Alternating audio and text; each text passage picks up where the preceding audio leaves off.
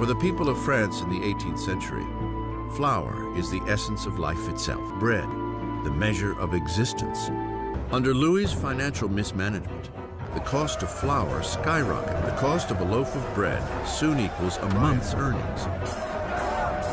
Hunger turns to rage. Riots break out across France. Bakeries are raided, and shopkeepers suspected of stockpiling bread are lynched on the spot.